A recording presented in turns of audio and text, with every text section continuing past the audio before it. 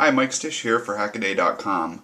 I got my hands on a sample unit of the new Discovery board from ST Electronics. So this is the um, ST32F0 Discovery board. Now we've seen several of these Discovery boards um, so far, and they're they've got the different designations F. Uh, two, three, and four, and L, and um, they all do a little bit different thing. Um, this one features an ARM Cortex M0 chip, which is right here. And you know, up to this point, I haven't really paid too much attention to these. Uh, I'm mostly uh, um, an AVR person, uh, but boy, this chip really starts to hit the right price point and push the kind of uh, features that um, I sometimes can't find uh, in the in the AVR chips that I like to work with. Um, and, you know, I'll get to that in a little bit. I'd like to just cover kind of what's on this board. First of all, you'll notice that it's got um, a double single row of pins here. And, uh, you know, that breaks out everything that you need. It's got, uh, you know, like 3 volt, 5 volt, ground connections, VBAT. This is going to be the backup for the um, hardware RTC that's in this chip uh, and then all of your um, pins for the micro I/O pins for the microcontroller here.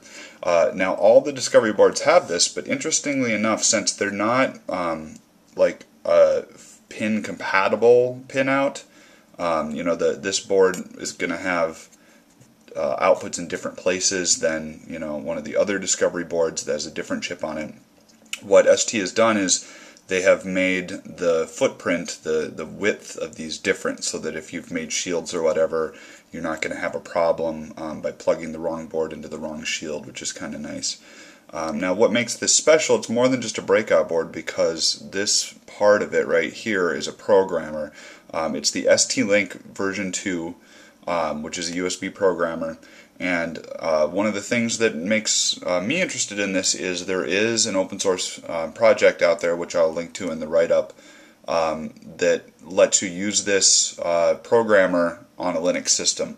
Which I don't want to use proprietary software if I don't have to. You know, this is a hobby. I'm not um, doing mission critical development for a large corporation, so I have the the um, you know option of saying I only want to develop an open source uh, software, and so that's uh, uh, an inter- thing of interest for me. Um, it's kind of a neat setup, this ST-Link 2 up here. Uh, you'll notice there are two jumpers here, and there is this other header, this uh, six-pin header right here. So this is um, right out of the gate meant for uh, off-board programming. So with these two jumpers installed, you're all set up to program the, the chip down here. But um, if you take these two jumpers off, and connect to a, um, a different chip with a, a, cable here, you'll be able to program, and I believe you'll be able to program any of the STM32 uh, microcontrollers because this ST-Link version 2 is not, um, you know, just locked into the uh, um, Cortex M0 chip, so you'd be able to do any of their line, which is kind of nice. Um, some other nice features, you'll see a jumper right here.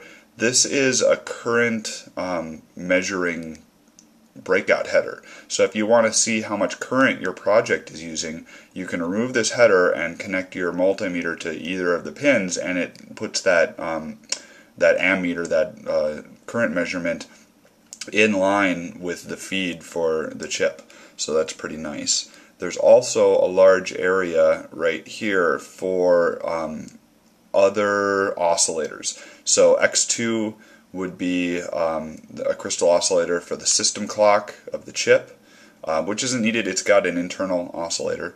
Uh, but you know, if you're looking for a specific frequency, or or if you're looking for a more accurate frequency, um, you could populate that along with some of these um, resistor capacitor footprints down here.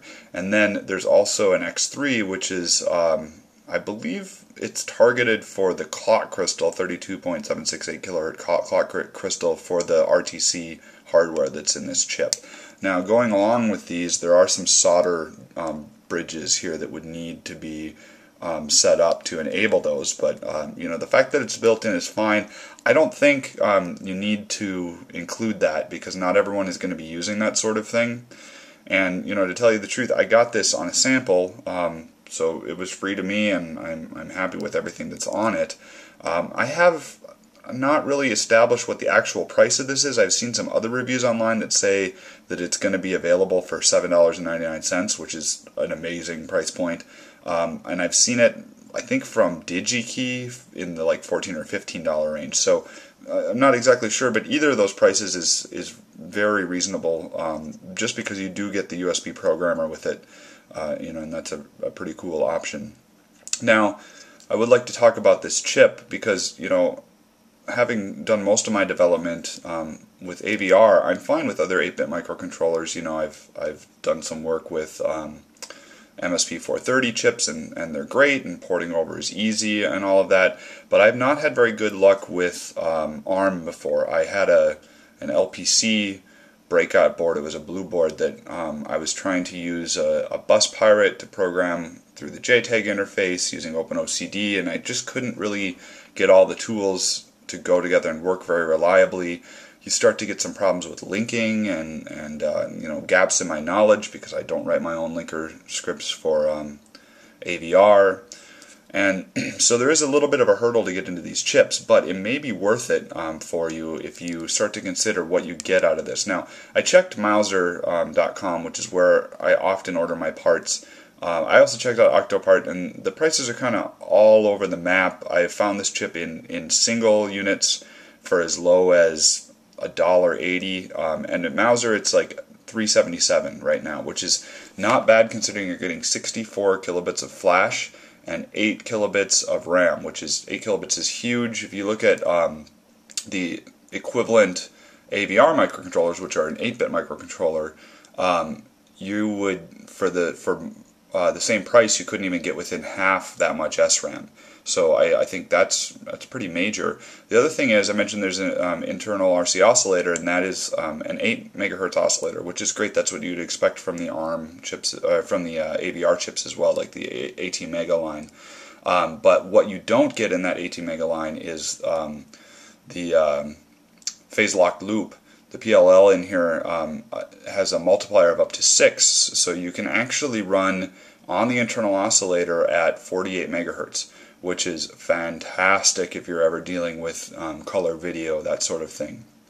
Um, you're going to have, I think it's 11 timers inside of this chip. Uh, it's a 32-bit chip, so um, when you're using the 12-bit um, analog to digital converter, uh, you're it's a lot easier to kind of work with those numbers or to kind of fake floating point math. You know, if you're going to bit shift in order to keep your resolution until you're done with your, your fake floating point calculations. Um, I think the 32-bit is really nice for that. And uh, I believe this chip also has a an a digital an analog to digital convert no a digital to analog. Where am I going here? Yes, a digital analog converter. So it'll take a digital value and out, output an analog um, signal on that pin, which is something that I haven't had a need before, but to my knowledge, again, the ATmega line just doesn't have that. So if I can get this working under Linux and if I can, you know, find my way through the tool chain, I think this is going, going to be um, something that I look to for a lot of my more complex projects in the future.